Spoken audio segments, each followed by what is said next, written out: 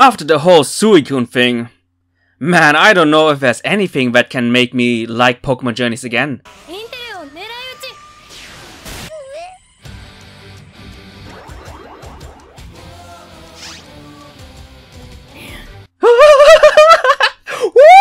Uh,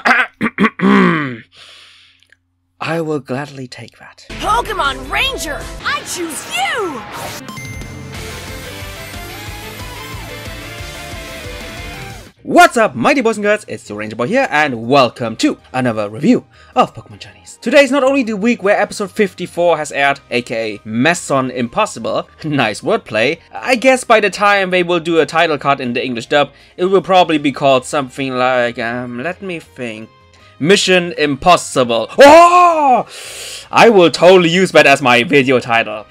anyway, as you guys can probably tell, this episode is all about Sobble, his encounter with my favorite Gen 8 starter evolution, Inteleon, and the effects that this encounter will have for both Goh and Sobble. So, if you want to know more, if you want to know my opinion, then grab some popcorn, grab some cookies, and let's do this. Not only is Inteleon one of the main stars in this review, but it also seems like that even in this episode itself, it is the focus of attention. Goh fanboys over him since he seems to be a huge movie star, Ash fanboys over his really cool design, something I can totally relate to, and even the usually shy Sobble, who had a pretty scary experience early on, in this episode gets his spirit lifted up after seeing the future potential that he might have within himself. So naturally, our heroes go straight to the nearby movie setting to witness the heroine and secret agent Jacqueline getting saved by her partner, the superstar Inteleon. But just like M. Night Shyamalan would say, what is a movie without a sudden and unexplained plot twist? Sadly, in this case, it's kinda expected because it's Team Rocket with their usual gacha machine gimmick, who then quickly get blasted off again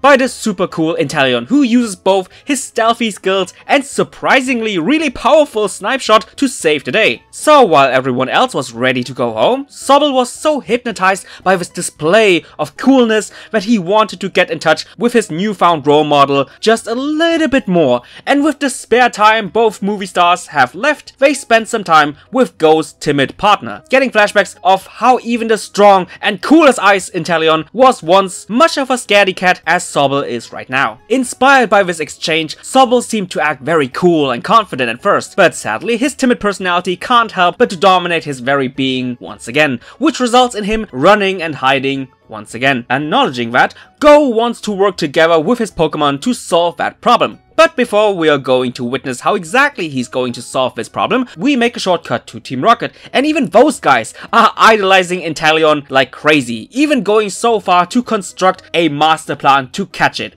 I wonder how that will go. Anyway, let's head back to Sakuragi headquarters, where it turns out that overcoming his problems with sheer training alone didn't really result in anything, since Sobble quickly returned back to his old and safe hide-and-seek tactic. And even though Ash was really questioning of whether or not this timid personality can be any use in battle, Goh quickly realized that there is a way to use Sobble's weakness as an advantage by using Jacqueline's and Inteleon's way of battle, which revolves a lot around silence and stealth. So the first approach of improving that newly discovered battle style of hide and seek is to play hide and seek, and if I might add, a very good first step into the right direction. Unfortunately, this fruitful day seemingly won't end in a positive manner, since the Pokemon of the staff member from the Inteleon movie got stolen, and all that the thieves have left behind is a really suspicious map. Hmm. But there's no time for thoughts, so therefore our heroes try to save the day, and soon enough they arrive at a very mysterious cave guarded by several machines with cameras. Surprise, surprise, it's Team Rocket, of course. But actually surprising was the fact that Team Rocket was really upset when they caught Ash and his friends, since this whole plan was intended to be for their idol Inteleon.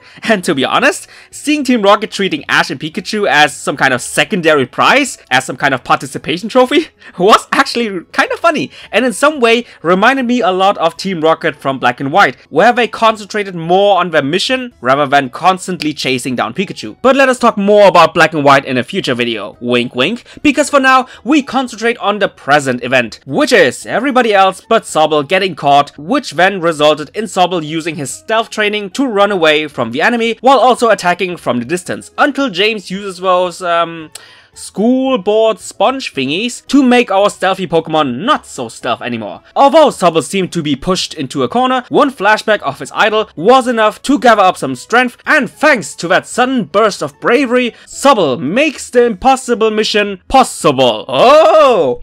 By learning a new move, totally fitting for his style of battle. U-turn. Soon after that, our heroes break out of the trap, Team Rocket is blasting off again. Sobble receives praise from his role model, and that's the end.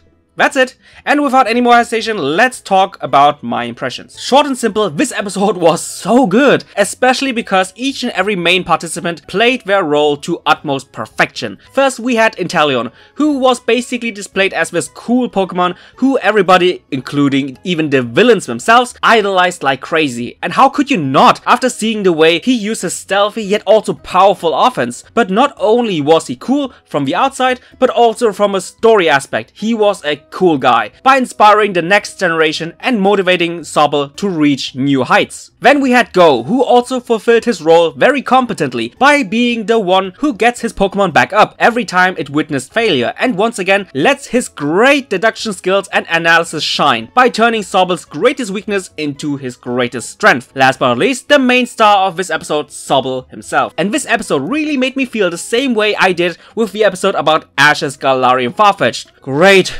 relief. Because besides Riolu and Raboot, for the most part we have barely seen any kind of focus episode, let alone moment, of any other Pokemon besides those two. And I'm really glad that Pokemon Journeys is finally pulling themselves together by letting other Pokemon get the spotlight, which, let's be honest here, it was desperately needed for Farfetch, but especially for Sobble, who before this episode had barely any relevant screen time to showcase his character. But in this episode they finally established my favorite Gen 8 starter as more than just a timid and whiny Pokemon. Now, he showcased a lot of bravery, determination, and also showed that in some cases he also has a very playful and even prankish kind of side to him, which just made me fall in love with Sobble even more. If there's a nitpick I would have for this episode, then it would be that there was a bit too much Team Rocket in this episode. But at the same time, having them interfere with our heroes twice in one episode had the purpose to not only showcase Inteleon in battle, but also underline the fact that even Team Rocket themselves were fanboying all over the secret agent Pokemon, which then led to this really funny scene of Team Rocket being more interested in Inteleon rather than in Pikachu. But in my opinion, establishing both Inteleon skills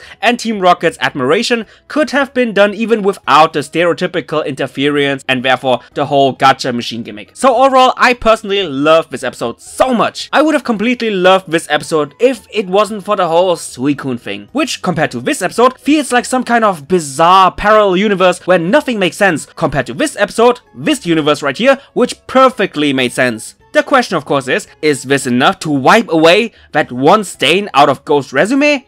Hmm, maybe one day in hindsight we can look at that moment and just laugh at it. But for now, it's still fresh in our memories and so far I can't really say that I can 100% overlook that huge misstep. But at least I can say this. Just like Sobble himself, they're at least on the right track to a better future. Anyway guys, I really hope you enjoyed this review. What is your opinion on Sobble's development? And first and foremost, what is your opinion on Inteleon, this really cool Pokemon? Tell me, and just like always, I see you guys in the comments down below.